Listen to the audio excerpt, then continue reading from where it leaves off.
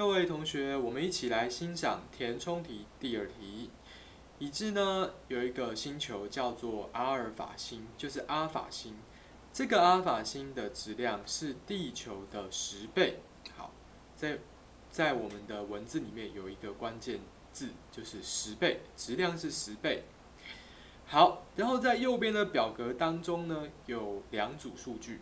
第一组数据是星球半径，第二组数据是绕日轨道半径。要注意，这两个是不一样的。它在星球半径比呢是一比五，好，就是六千四比三万二是一比五。在绕日轨道半径的比呢是一比四。好，我们先把它们化成简单整数比，这样会比较好算。好，那么第一小题要算的是阿法星的重力加速度。那已知地球的重力加速度是十。在这样的题目当中啊，如果说我们想要知道重力加速度的话，我们毫无悬念，必须使用万有引力公式。好，Fg 会等于 G 大 M 小 m 除以 r 平方。好，各位同学你要注意哦，我们今天在讲这个公式用在哦第一小题里面，我们的大 M 表示是星体质量。也就是地球质量和阿尔法星的这个质量，至于小 m 呢，是在星体上的人的质量。我们可以假设这边有一个东西是我们的星体，好，然后这个星体的质量是大 M，我们的人呢站这个地，在站在这个地方，我们的质量是小 m。那至于这个 r 是什么呢？这个 r 就是我们跟星体的直心的距离，其实就是星体的半径。好，那么。这个万有引力会等于什么呢？会等于我们人在地球上的重力。你说老师为什么会想到这个公式？那是因为我们今天要求重力加速度。当你看到重力加速度 g 的时候，你有没有想到要用 mg 去解它呢？好的，所以下面呢，我们开始经过一连串的计算。首先，我们把自己的质量 m 消掉，消掉之后呢，我们透过这两式这个等号的左右两边，知道一件事情。那就是重力加速度 g 值会等于万有引力常数 g 啊乘上星体质量 m 再去除以星体半径的平方啊这个其实是所有星体的重力加速度都是这样算的。好的，那么我们在这里面注意到一件事情，那就是万有引力常数 g 它是六点六七乘上十的负十一次方，它是一个定值。好它是一个定值，也就是说，这个大 G 的大小不会去改变重重力加速度的大小。好的，那唯一改变重力加速度有谁呢？有第一个质量，星体的质量，也就是星体越重的话，那么重力加速度 G 就会越大。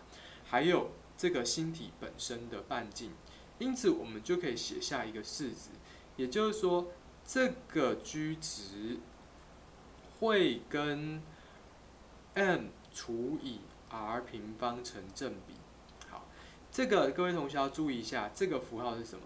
这个符号叫做成正比。好，这句话是什么意思呢？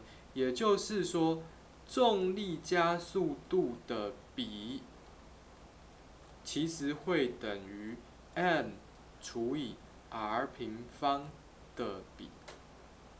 好那你说为什么呢？那是因为 g 其实就是啊这个 m 除以 r 平方，然后再去除上一个常数 g，因此我会说重力加速度的比就是星体质量除以星体半径的比。好的，所以我们来开始啊，要正式的计算第一小题。首先呢，我这边先列示哦，我们今天要算的是阿尔法星的重力加速度，对不对？所以我其实要看的是。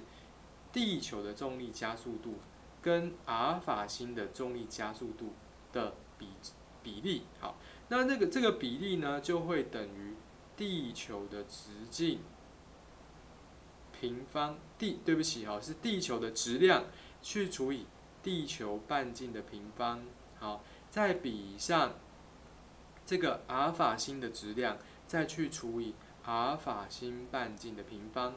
那这个数值会等于多少呢？我们注意一下哦。刚刚我们是不是说这个阿尔法星的质量是地球的十倍？所以我们在分子的部分呢，我们就放一比上十。那至于半径呢，半径在我们的表格当中有给阿尔法星的半径是地球的五倍，所以在半径的部分，地球依然填上一的平方，那阿尔法星呢就填上五的平方。好，那么这样算出来呢，就会变成五比二，也就是说。地球它的重力加速度比上阿尔法星的重力加速度比是五比二。那我们现在已经知道什么呢？我们现在已经知道啊，地球的重力加速度是十，对不对？因此啊，我们就可以知道阿尔法星的重力加速度就应该是十再乘上五分之二，也就是四。所以这个地方我们就算出来，阿尔法星的重力加速度是四。这样子，好，这是第一题的答案。好，那么看完第一题，算完第一题之后呢，我们要开始啊，来算第二题。第二题要问你说，那么今天啊，质量原本五十公斤，好，质量五十公斤，好，我们把它画起来，质量五十公斤的阿良移民到阿尔法星，重量会变成多少呢？来，各位同学，你还记得吗？我们的重量会等于。质量再去乘上 g，g 是什么？g 是重力加速度。好，但是我们这个地方要算阿尔法星的重量，所以我们放的是阿尔法星的重力加速度。已知阿明的质量是五十，那么阿尔法星的重力加速度我们刚刚算了是四，因此阿良到了阿尔法星之后，它的重量就会变成两百牛顿。好，因此第二小题的答案就是。两百牛顿，好了。那么接下来呢，我们要再进入最后第三小题。好，那第三小题呢，各位同学要稍微注意一下，这就是我们好克卜勒第三运动定律的应用。好，阿良今天在阿尔法星上过了阿尔法星的一年。什么叫过了阿尔法星的一年？过了阿尔法星的一年，就是阿尔法星它已经怎么样呢？已经转了一圈，阿尔法星转一圈，那试问呢，在这个时候地球过了几年？要问说，哎，阿尔法星转一圈，对于我们来说啊，我地球过了几年？也就是说，阿尔法星转一圈呢，这个需要多少地球年？需多少地球年？好今天什么叫转一圈？好，转一圈的时间是什么？转一圈的时间就是什么？要求阿尔法星的周期。所以我们今天呢要求的其实就是问阿尔法星的周期是几年呢？好，这个几年就是答案。好，所以我们一样哦，要用那个 T T A A 什么呢？地球的 T 平方比比上阿尔法星的 T 平方比会等于。地球半径三次方比比上阿尔法星的半径三次方比，因此我们开始列式。那地球的公转周期我们已经知道是一年，所以这个地方呢我们就填一平方，好，这个单位是年。至于阿尔法星的公转周期不知道，这是我们要求的，所以我写刮弧平方。好，这个地方是平方，不是三次方。好，那么再来，地球的半径跟阿尔法星的半径比，我们啊这个半径小心哦，是它的绕日半径，好，不是它的，不是它的星球半径，这个是绕日半径，要注意哈，绕日半径。好，OK，那。地球的绕日半径是六千四，阿尔法星绕日半径是三万二，它们的比例是一比五，所以我们就直接把一比五写上来。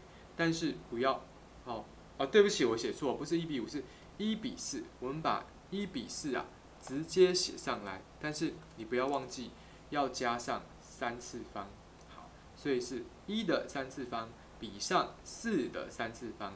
所以这样我们就可以很快的计算出来，四的三次方是六十四，六十四开根号就是八，因此啊，花弧等于八，也就是说阿尔法星它的公转周期是八年，好，八个地球年。